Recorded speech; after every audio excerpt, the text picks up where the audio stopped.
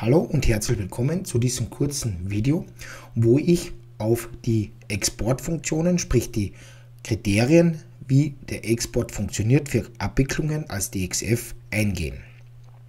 Wenn Ihnen solche Videos helfen und gefallen, dann würde ich Sie bitten, wenn Sie meinen Kanal ein Abo da lassen, sprich diesem Video, oder auch den Kanal gerne abonnieren, was natürlich kostenlos ist.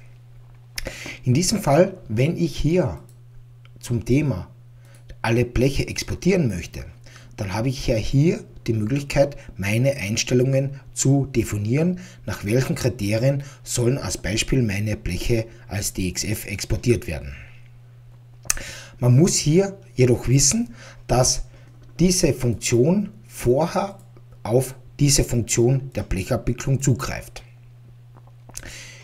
Im Besonderen geht es hier um diese Auswahlkriterien, also diese Prioritäten. Die erste und höchste Priorität ist das Richtungssymbol. Danach kommt die beschichtete Seite, anschließend die Sichtseite, wenn sie angehakt ist, und danach die Anzahl der Pulverlinien und Signierungen. Hier könnte ich noch eingeben, äh, ob die Oberseite gespiegelt werden soll oder nicht. Jedoch für mich ist es wichtig, dass ich hier diese vier Optionen einmal grundsätzlich verstehe. Diese Optionen sind jedoch nicht für die Werkstättenzeichnung wichtig, sondern für die DXF der Abwicklungen. Sprich, wie kann ich diese Optionen jetzt setzen?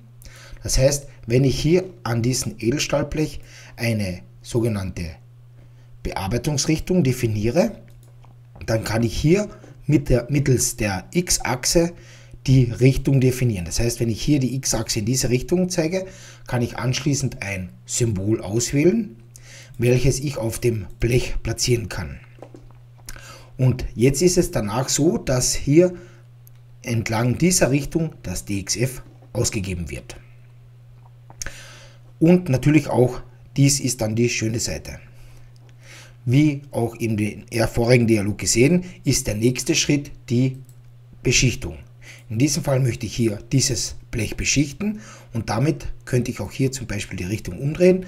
Aber hier in diesem Fall wäre das diese Seite die obere Seite und im Dialog war danach eingestellt, dass hier die, im falschen Dialog, in diesem Dialog natürlich, dass die längste Kante die x-Richtung ist. Das heißt, sprich, es würde mir hier auch so ausgegeben werden.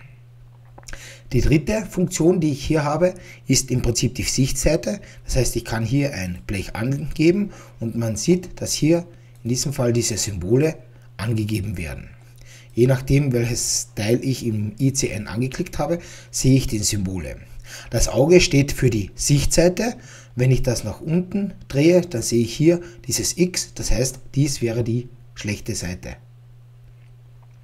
Und dies sollte man unbedingt beachten, wenn man mehr mit Blechen zu tun hat, da dies natürlich einen großen Effekt haben kann auf die DXF.